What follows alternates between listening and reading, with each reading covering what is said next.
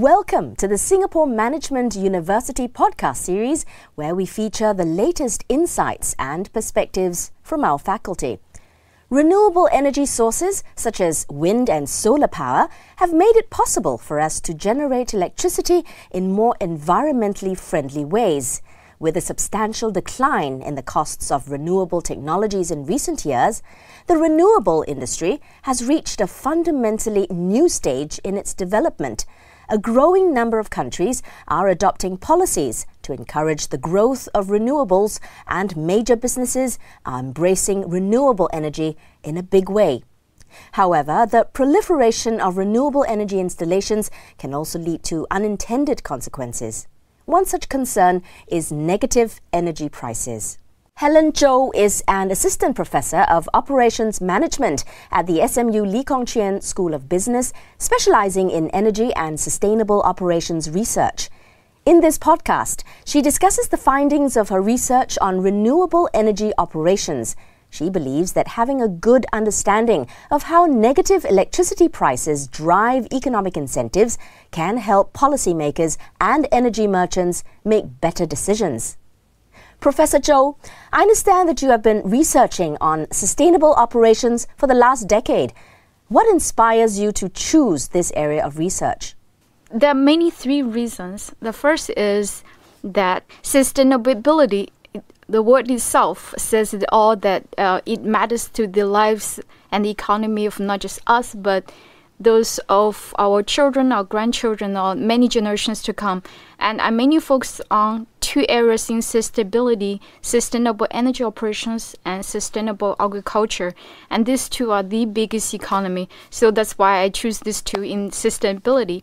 The second reason is because um, it's an evolving area, has a lot of interesting questions, and it really mentally challenged me to explore how things really work because the new technology of the um, new business model, etc. And also, it challenges me to think about how to make things better and to optimize them. That's exactly what we do in operations management, how to optimize the process, everything. And the third reason is because it's very personally fulfilling and it aligns with my goal of doing something good to the society and so that uh, I leave the world a better place than I found it. In a recent paper published, you found that government policies used to promote renewable energy may in fact bring about undesirable consequences. Can you tell us about this research? Yes, this is some research that I have conducted with my uh, colleagues from Carnegie Mellon University, uh, and this research has now appeared in Management Science, published in 2016, and the title is Electricity Trading and Negative Prices: Storage versus Disposal. So, in short, these um, unintended consequences due to government policy promoting renewable energy, even if the electricity at that time may not necessarily be needed. Um, and this will exacerbate a unique ph- phenomenon to make it worse the unique phenomenon that's in the electricity market which is negative electricity prices. This means that renewable energy could bid a negative price and they still make a profit. So these are the two reasons. And because the negative prices have significant implications on uh, the market behavior and how market players would act and because of the frequency and magnitude of these negative prices, what we found in that paper is that it could potentially incentivize the market players to use devices to buy electricity as much as possible when price is negative for the sake of disposing of them. And this is what we call the disposable strategy. And we compare this disposable strategy with the usual strategy of dealing with electricity surplus, which is the storage strategy. Uh, in this storage strategy, you buy electricity when prices are low and sell them back when the electricity prices are higher. This is the storage strategy. We compare that disposal strategy with the storage strategy. We found that when negative prices occur 10% of time, which is already occurring in some markets, when that happens, the disposable strategy is as profitable as the uh, storage strategy, partly also because the devices used for disposal strategy are much cheaper than the devices used for the storage strategy.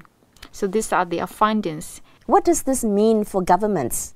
For the government, in order to prevent such disposal strategy to be commonly adopted, they can follow three different approaches. First is try to promote the storage strategy. Second is to modify the PTC, which is the production tax credit, um, to generate renewable energy only if it is needed. The third is to allow the wind energy and other renewable energy to be potentially curtailed when it is not needed. Because if you produce them when it's not needed, they, they will be um, bought up and disposed anyway. So what's the point of um, producing them in the first place? So these are the findings for the first paper. I understand that with the same collaborators, you've done further research that examines the issue of negative energy prices. Can you tell us more?